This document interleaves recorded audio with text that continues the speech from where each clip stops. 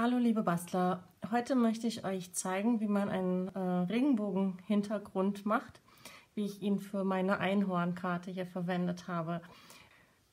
Der, äh, das Papier, das ist Aquarellpapier. Ihr müsst es jetzt gleich nass machen, deswegen äh, unbedingt Aquarellpapier nehmen. Ähm, das normale Papier hält so viel Wasser nicht aus und wird dann krisselig und wälzig. Also das wäre am besten. Die Stempel könnt ihr dann wieder normal auf Flüsterweiß drauf machen. So, und zwar braucht ihr dazu den Wassertankpinsel und die Brusho Crystal Colors. Alle, die ihr habt. Ich verschließe die immer mit so einem Pin. Habt ihr vielleicht schon in meinem anderen Video gesehen. Es reicht, wenn man ein Loch reinmacht und dann kann man das mit so einem Pin verschließen, dass die nicht, äh, wenn sie umkippen, nicht auslaufen. So, ich habe mir hier schon ein Stück ähm, Aquarellpapier zugeschnitten auf 14,3 mal 10 cm. Dann hat, passt das ganz gut auf so eine Karte und hat nur so einen kleinen Rand ringsrum. Und das klebe ich mit so einem ähm, Malerkrepp oben und unten fest.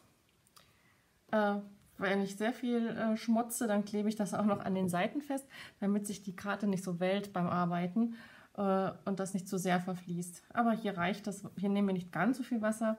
Es reicht, wenn ihr oben und unten die Karte festklebt, dass die schön flach ähm, auf der Matte bleibt. Natürlich braucht ihr einen Untergrund, der Wasser aushält.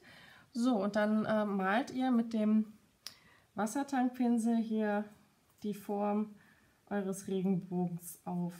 Also überall, wo später der Regenbogen sein soll, da macht ihr die Karte nass. Nicht zu nass erstmal, nur so ein bisschen. So.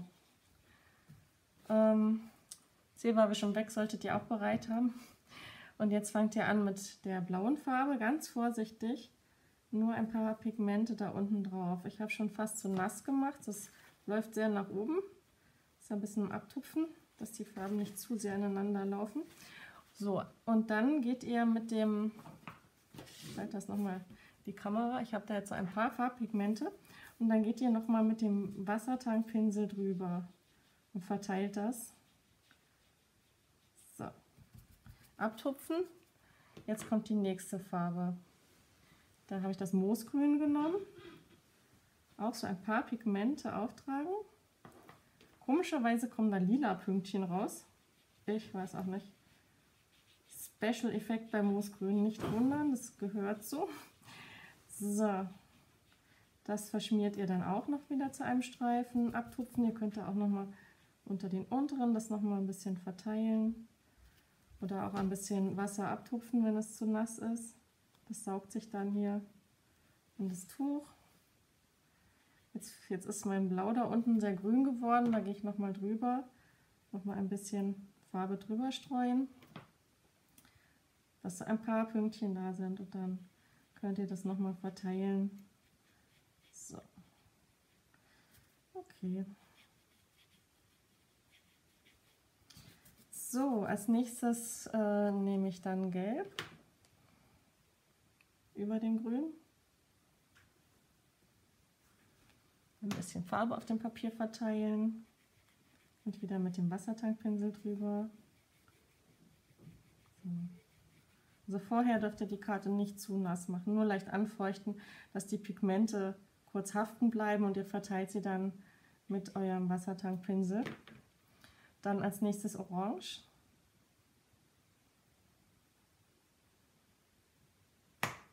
So ein bisschen wie so ein Salzstreuer. So. Da ist jetzt nicht so viel rausgekommen. Mal drüber gehen.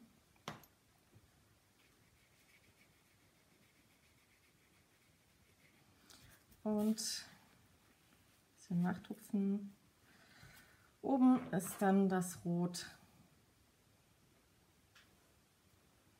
So.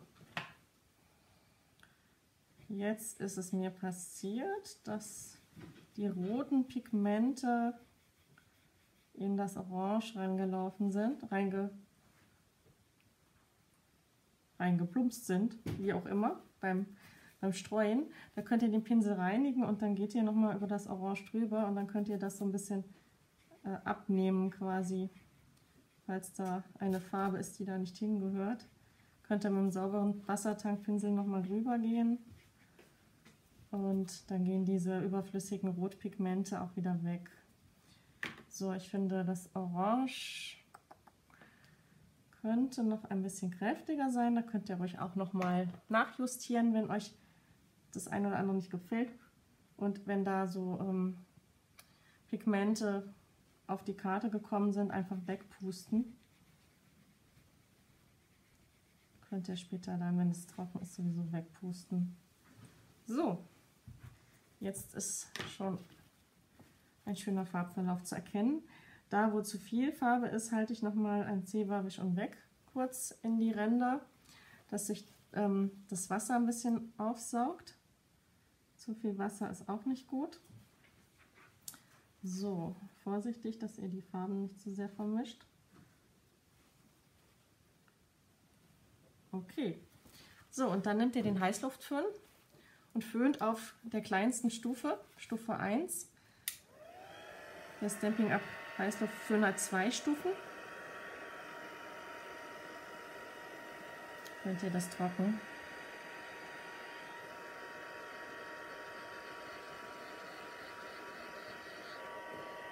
Das auch noch mal ein bisschen hier überlaufen lassen.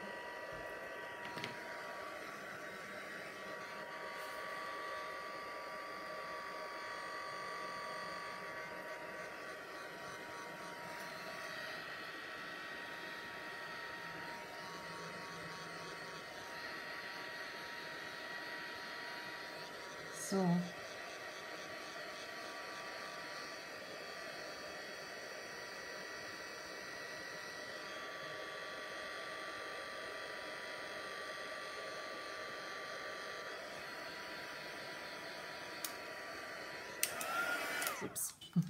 Also durch das Trockenföhnen, finde ich, wird die Karte noch wieder ein bisschen flacher. Wenn man die so trocknen lässt, dann wölbt sie sich manchmal sehr. Und das war schon der ganze Zauber. Ich habe jetzt nicht ganz zu Ende geföhnt, damit ihr euch hier nicht langweilt.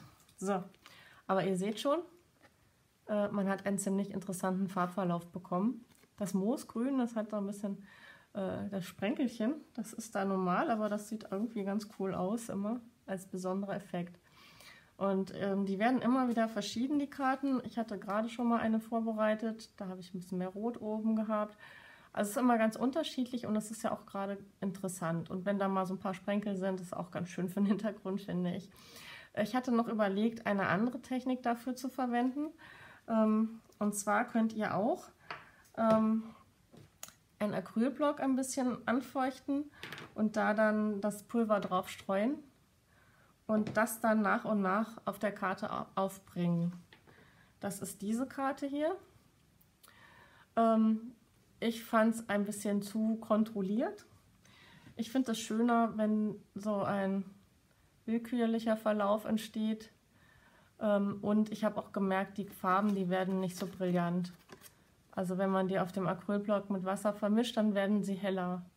Wer das schön findet, äh, ja, kann das natürlich auch machen. Ne? Also einfach ein bisschen Wasser auf den Acrylblock, ähm, Pigmente drauf streuen, vermischen und dann damit malen. Und natürlich immer wieder den Wassertankpinsel zwischendurch reinigen. Im C war wir schon weg, dass die Farben nicht so sehr vermischen. Und dann bekommt ihr so etwas hin. Das geht natürlich auch, wie gesagt. Aber ich finde das sehr interessant, wenn man das streut. Hier bei der Karte sieht man das jetzt ja auch noch gut. Ich mache mal hier das weg. Das sieht nicht so schön aus. so. Ne, das, äh, das hat hier so ein paar interessante Verläufe und das sieht einfach mehr nach Aquarelltechnik aus und etwas künstlerischer, finde ich. Genau, dann könnt ihr euer Einhorn stempeln, stanzen, draufkleben, fertig ist die Karte. Das da unten, den Spruch, den habe ich einfach mit der Schere von Hand ausgeschnitten. Ja, dann wünsche ich euch viel Spaß beim Nachmachen und hoffe, ihr habt gesehen jetzt, dass es ganz easy ist, einen ganz tollen Regenbogen-Hintergrund mit dem Brusho Crystal Colors zu zaubern. Mehr demnächst auf meinem Blog. Bis dann, tschüss, eure Nicole.